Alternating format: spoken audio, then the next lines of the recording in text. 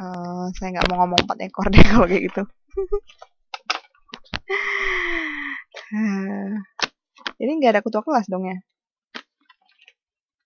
Aduh. Eh Mbak Vivi kenapa nggak ngerjain tugas yang itu Mbak Caca? Kenapa Mbak Mbaknya nggak kasih tahu ya?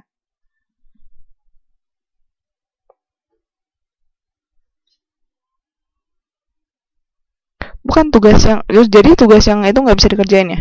Tugas yang kita English morpho syntax. Oke deh, kita lanjutlah. Teman Kaise.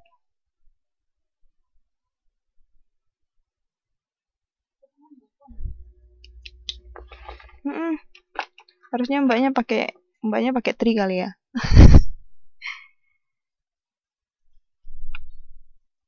oh oke okay. oke okay. oke okay, baiklah mbak. Bener. Gak tau juga sih email.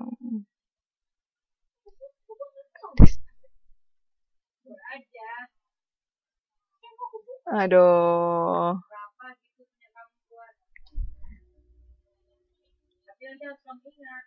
Iya benar, FB paling mudah daripada yang lain. Karena lain Indonesia nggak gitu pakai. Indonesia buat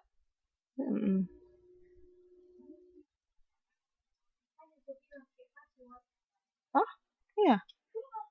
Tuh, berarti Mbak berarti Mbak Vivi di Indonesia bagian mana mungkin ya? Oh, oke. Okay. Oke, okay, momen Kaisel ya. Kita mulai supaya lebih cepat lebih baik. Oke, okay, ini ya. Oke. okay. Uh, eh, kali ini sebenarnya kita bahasnya ada ada tiga yang sebenarnya hampir sama babnya. Kan ini kan sampai bab 10 ya, kalau nggak salah. Uh, dan ada tiga yang hampir sama. Nah, itu ada penerjemahan cerita horor anak, penerjemahan cerita horor remaja sama penerjemahan cerita mengerikan. Enggak, enggak. Ini kita cerita yang horor dulu, Mbak. Jadi, ini chapter 6. Chapter 6 ya sekarang. Penerjemahan cerita horor. Lalu chapter 7-nya penerjemahan cerita horor remaja. Okay. dan chapter 9 itu penerjemahan cerita mengerikan. Ingatan saya bagus ya nembong dulu saya nggak ada oke okay. uh. ya misteri ya baiklah baik jadi kita hari ini bicara tentang mistis jadi tolong tahan napas lihat ke belakang kira-kira ada orang atau tidak oke oke oke oke pernah lihat gambar seperti ini pernah di mana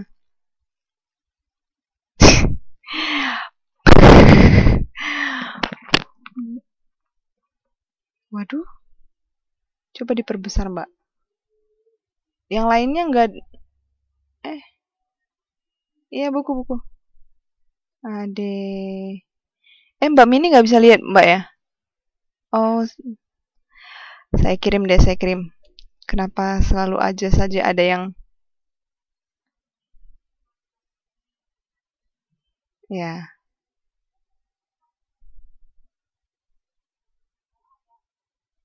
Ya, terus? Nah, oke. Okay. Yang Mbak Mini belum Mbak Mbak Mini nggak bisa lihat ya, Mbak ya? Eh, tuh ada Mbak Suar Mini kok. Udah loh.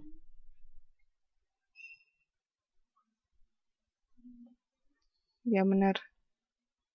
Saya kirim di Facebook, Mbak.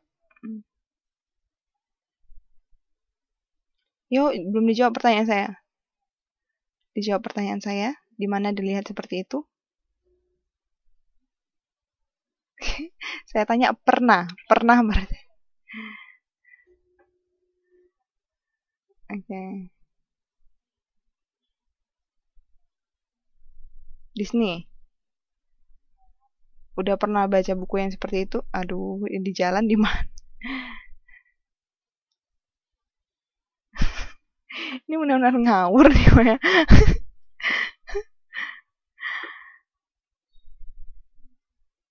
hmm oke. Oke. Yang nggak bisa lihat boleh lihat. Ya. sudah, sudah, sudah. Oke. Okay. Scooby-Doo ya? Oke. Okay. Yang yang nggak bisa lihat boleh lihat dari FB ya Mbak. Udah saya kirim PDF-nya. Oke, okay, nah buku yang pertama yang orange itu adalah buku Ghostbumps. Nah itu translatean dari bahasa Inggris. Nah itu pak dulunya sangat terkenal. Cuma sekarang tidak begitu lagi. Mm -mm. Dan cerita kedua, ini gambar yang paling sering ada di mana-mana ya. Benar di Scooby-Doo ada, terus juga cerita kartun memang ada. Kartun yang mengerikan ya. That's good. Jadi masa kecil mbaknya nggak suram ya. Oke okay, gitu. sudah. Oke okay. karena saya nggak mau hari ini ada yang ngantuk lagi. Oke oke oke. Oke. Jadi yang perlu diingat ketika menerjemahkan cerita horor terkhusus untuk cerita horor anak ini dulu. Fokus dulu ke cerita horor anak. Jadi don't scare exceedingly. Jadi jangan terlalu berlebihan menakut-nakuti. Jadi kalau misalnya cerita horornya terlalu seram, mungkin tingkat keseramannya bisa diturunkan. Ya. Karena memang kalau misalnya ada kayak pembunuhan atau misalnya kayak mutilasi seperti itu, kita bisa ubah kalimatnya. Kayak jadi lebih halus. Dan yang kedua adalah filter the words that make the readers feel disgusting and to scare. Jadi um, saring beberapa kata yang mungkin ya pilih kata diction ya pilihan kata pakai kata-kata yang jangan membuat anak-anak jadi mau muntah gitu membacanya disgusting jijik atau apa dan the third one is make the story as fantasy not scary story jadi buat kayak hayalan jadi kayak misalnya uh, Harry Potter Nah, jadi mungkin lebih ke fantasinya. Kalau mbak-mbaknya, makanya saya bilang kalau mbaknya pernah baca Ghostbump itu lebih ke remaja. Tapi kalau yang di sebelah satu lagi yang tadi gambar, di gambar yang orange itu lebih ke anak-anak. Yang orange, yang pink lebih ke remaja, yang orange lebih ke anak-anak. Nah, kalau di Ghostbumps itu dia ceritanya lebih uh, berlebihan. Jadi misalnya darah memang tumpah benar cerita-ceritakan yang menjijikkan pun ditampilkan. Tapi kalau misalnya buku-buku anak yang untuk anak kecil, uh, usahakan untuk tidak terlalu berlebihan menakuti. Tuh. Oke. Okay? And the last part is use some words that are easy to understand. Jadi ini sama dengan novel anak kemarin yang sudah kita bicarakan. Gunakan beberapa kata yang mudah untuk dimengerti. And then okay we have a warming up here because I don't want you to uh, fall asleep okay? So the first one is ghost what is ghost hantu. Very good. So there are some there are five terms here that maybe the ghost uh, doesn't mean hantu. So for the first one what is ghost town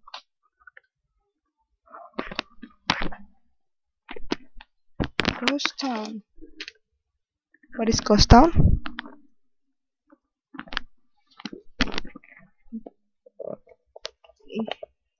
Yeah, very good. Kota kota mati atau kota yang berhantu. And then the other the second ghost like slide.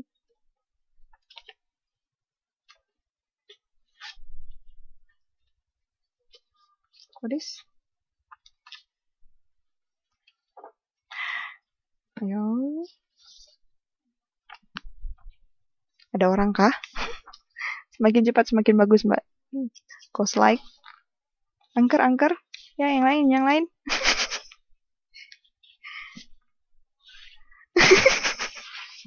Ini kayak main kuis kita.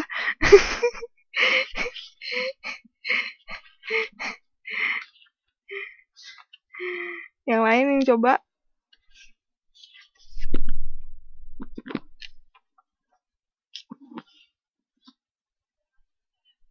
Ya, angker.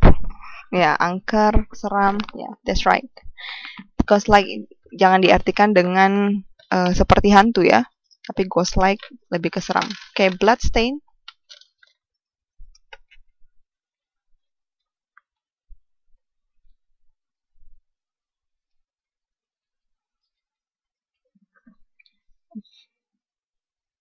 apa berlumuran darah yes atau dia bisa ke bekas lumuran darah bekasnya bloodthirsty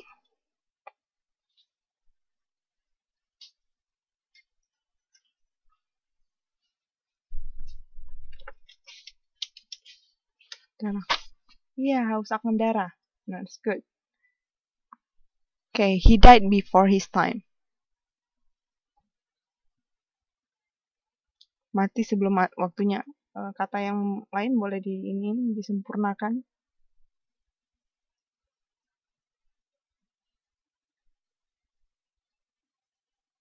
Atau bisa dibilang mati mati muda. Oke, okay, jadi ini kayak hiasan. And then the second is spirit. What is spirit?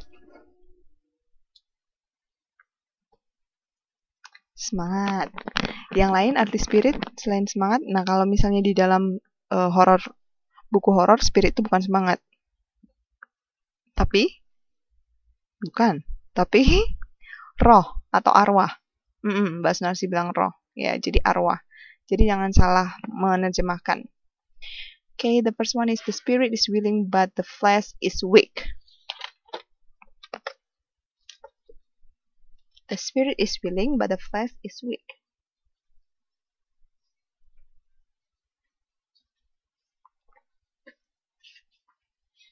What's that?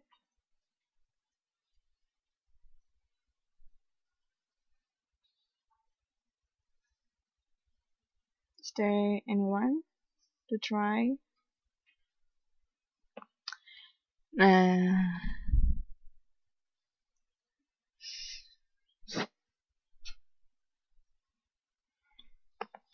what is that? What's the meaning?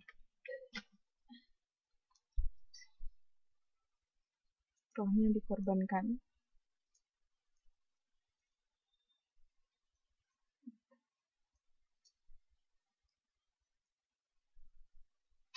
Ayo. Oke, okay, spirit di sini artinya apa? Ma roh. Yakin roh?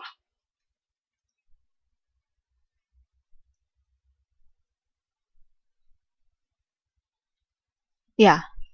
Atau nah di sini flesh diartikan jasmani. Flesh itu artinya daging ya. Tapi di sini flesh jasmani berarti spirit diartikan rohani. Eh? Rohani. nah, spirit, spirit, spirit. Spirit. Spiritnya rohani, fleshnya jasmani. Hmm, jadi apa?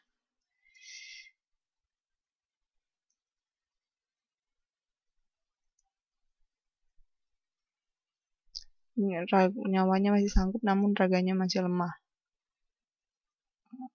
Dia nggak ada bilang orang sih mbak, jadi nggak bisa pakainya.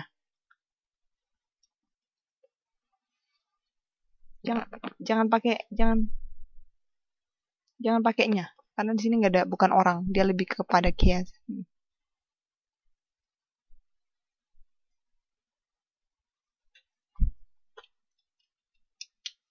Rohani?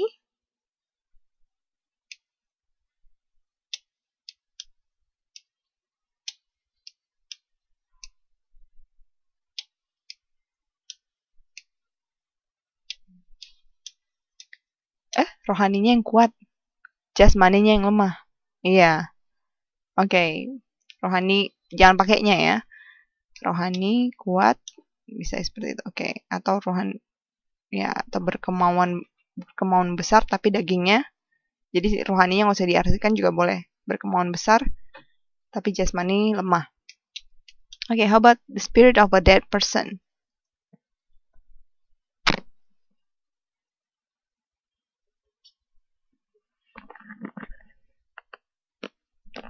Roh dari orang yang meninggal.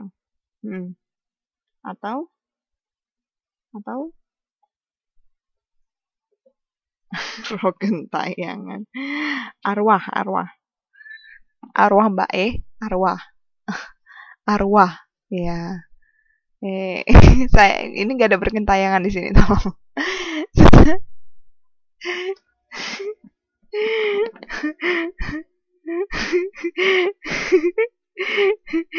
And then the third is to yang ketiga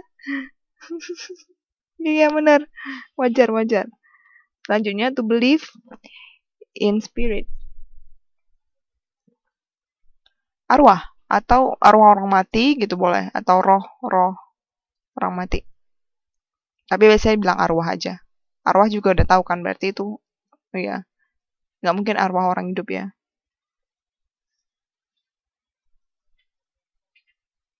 percaya pada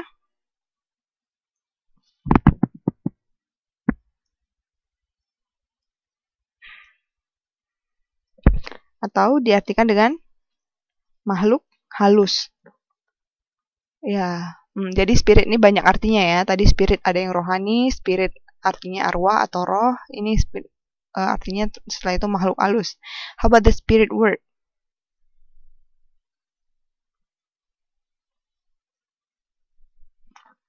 Gimana? The spirit world?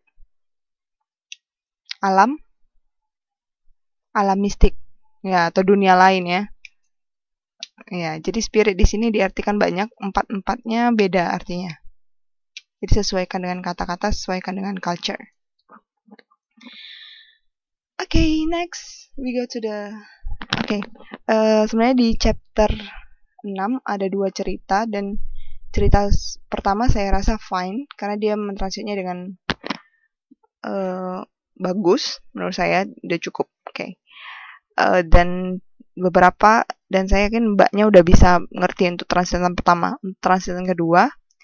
Uh, ada yang spesial karena dia pakai bahasa benar-benar bahasa sehari-hari.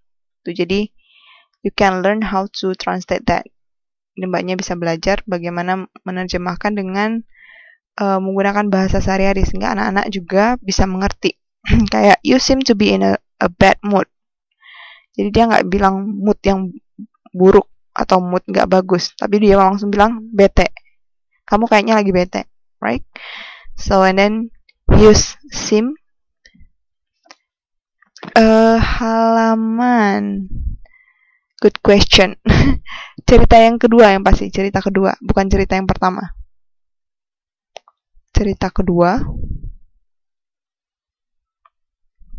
Terus ada a little further on he met Joe.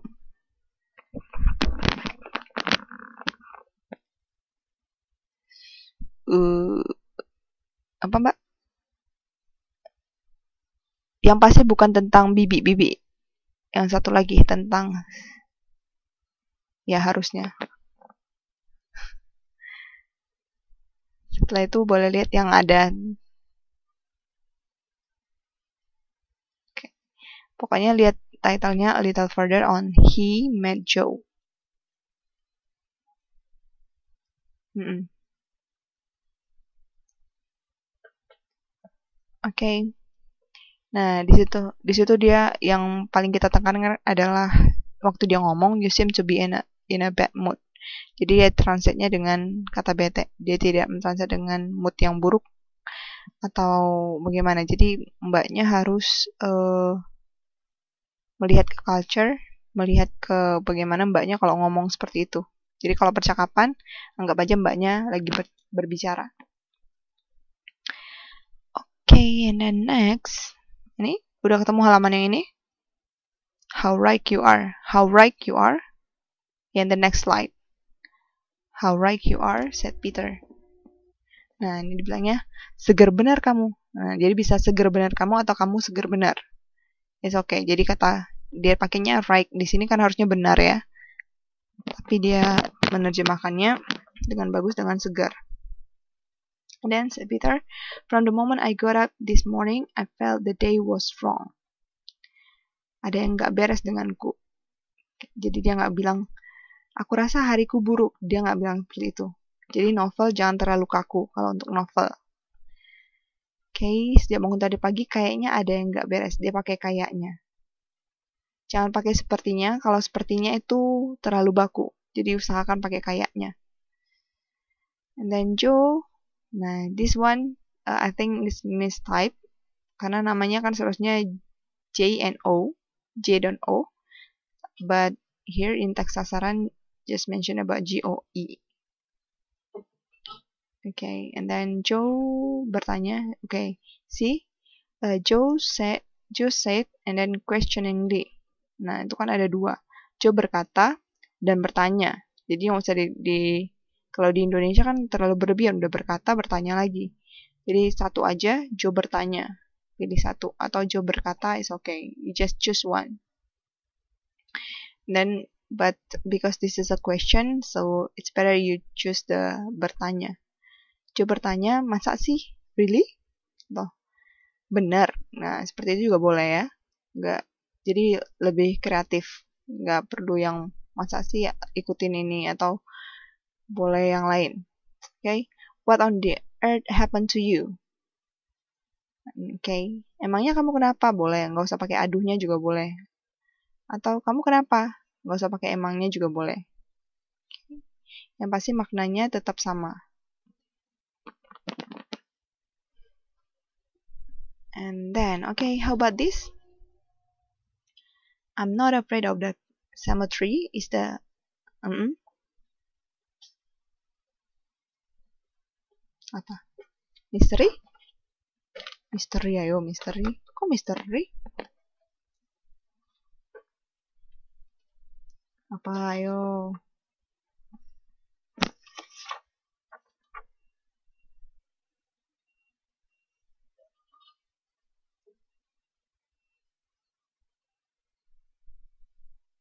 Apa itu? Iya, good. Terus gimana?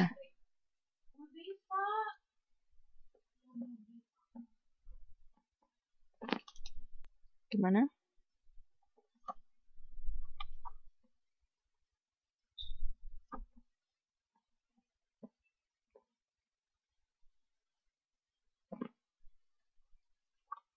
Gimana?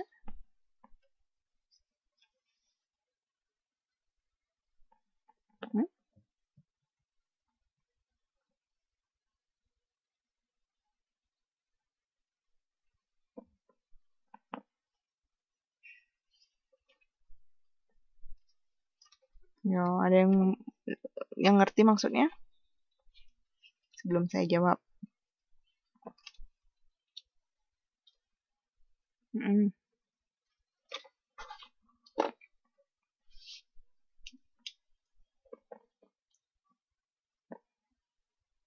Jangan ikuti aku. Dia bilang berarti sama hantu itu, Mbak ya. hantu, jangan ikuti aku. Jelangkung, jelangkung.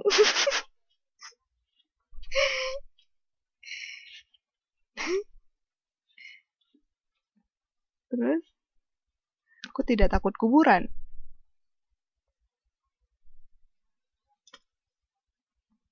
-mm. Ya, kok mbaknya udah buat tanya lagi.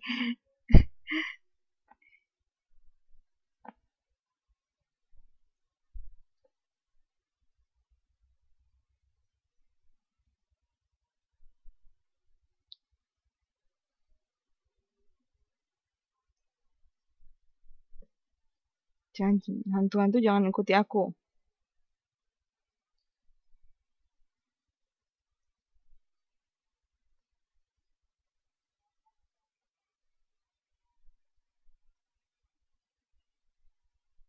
Yang lain gimana?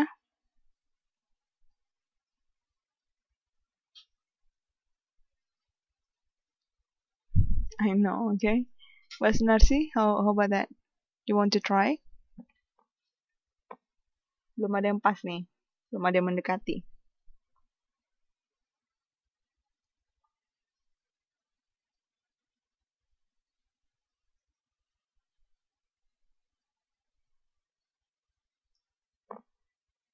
Gimana? Nobody want to try?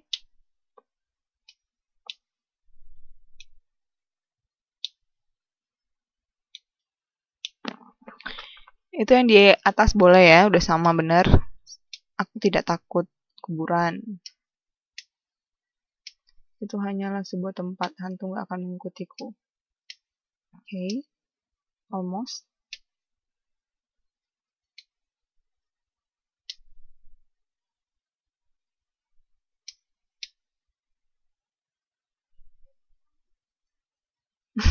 udah nyerah mengikuti gue gitu dia nggak follow memang. Dia kan nggak punya nggak punya Twitter jadi nggak follow. Oke. Okay? jangan ganggu aku. Di mana? Jangan ganggu aku di mananya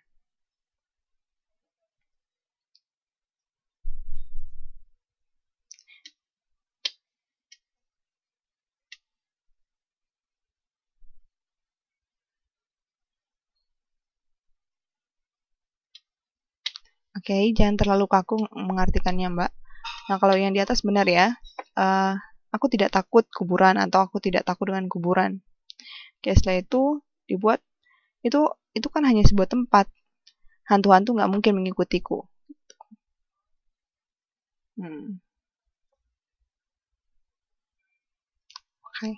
Oh, bulat. Oke, okay, lanjut. I entered the elevator and push the button for my floor. As the doors close, I feel a hand cover my mouth. So,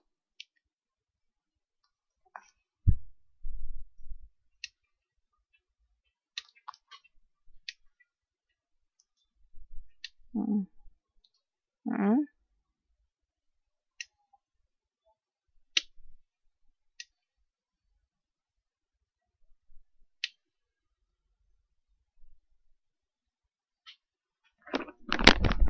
Rumahnya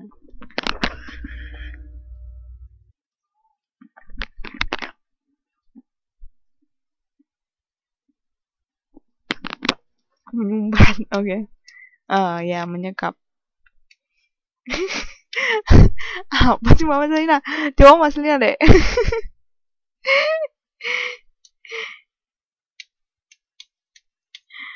oke okay. Yang belum mencoba kalau bisa yang coba. Ayo coba coba coba.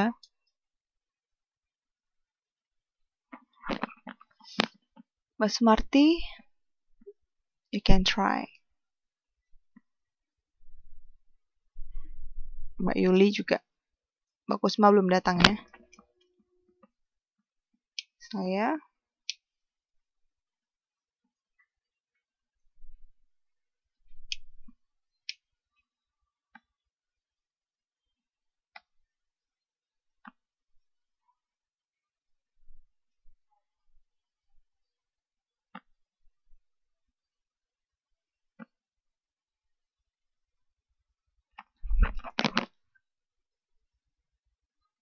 Mhm.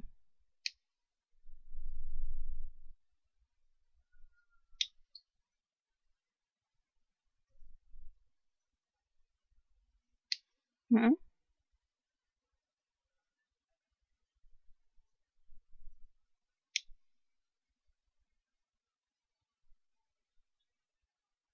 Hmm, Kenapa?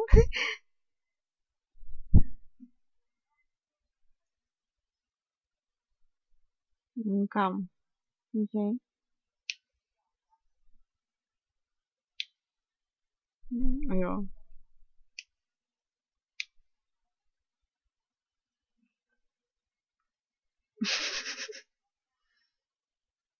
meraba ya. Dia ngapain meraba mulut? Yang diraba itu tubuh, Mbak.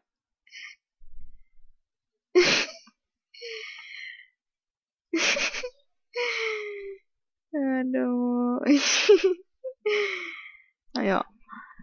Ayo menemukan kata yang tepat untuk cover.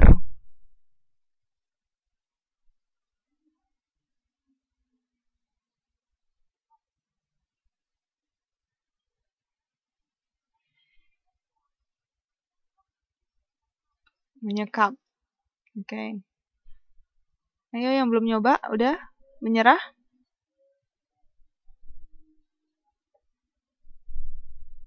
Yang mana sih yang bener mbak? Satu aja pilih. Menyekap. Oke. Okay.